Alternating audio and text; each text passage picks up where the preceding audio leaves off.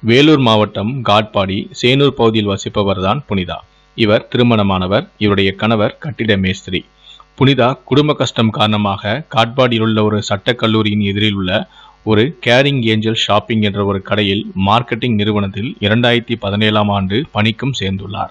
கடந்த இரண்டாயிரத்தி பதினெட்டு ஏப்ரல் இருபதாம் தேதியன்று புனிதாவின் பிறந்த நாளை ஆபீஸில் கொண்டாடியும் உள்ளனர்.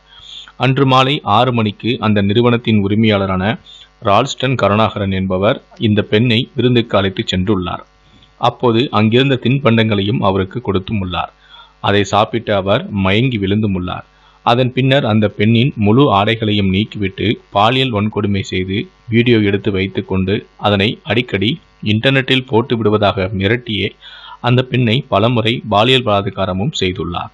பாலியல் பலாத்காரத்திற்கு மறுத்தாலும் பலவந்தமாக அடித்து உதைத்து பாலியல் பலாத்காரமும் செய்து வந்துள்ளார். இதனால் அந்த நிறுவனத்தின் பணியிலிருந்து அப்பெண் நின்றும் விட்டார்.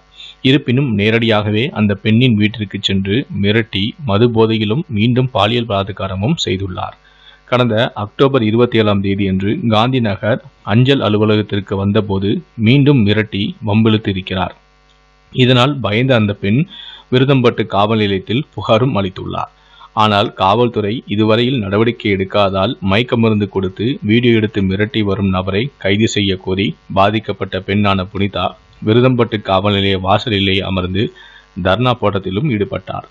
போராட்டத்தில் ஈடுபட்ட புனிதாவிடம் காவல்துறையினர் பேச்சுவார்த்தை நடத்தி நடவடிக்கை எடுப்பதாக உறுதியளித்த பின்னர்தான் தர்ணாவை கைவிட்டுவிட்டு கலைந்தும் சென்றார். இதனால் காவல் நிலையம் அருகே சட்ட கொஞ்சம் பரபரப்பாக காணப்பட்டது.